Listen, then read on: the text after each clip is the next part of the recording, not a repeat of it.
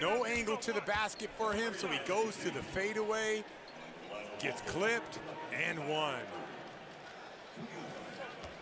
He's a tough shot maker. 9 to 12 from the field.